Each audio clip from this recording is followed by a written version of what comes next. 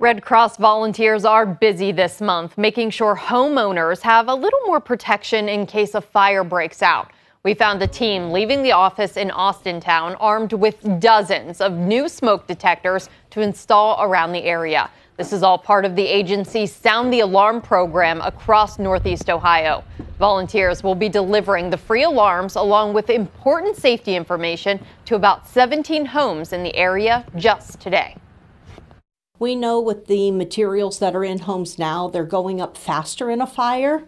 So making sure people have that ad- adequate notification that a fire is happening and have those working smoke alarms that'll give them that notice so that they can get out.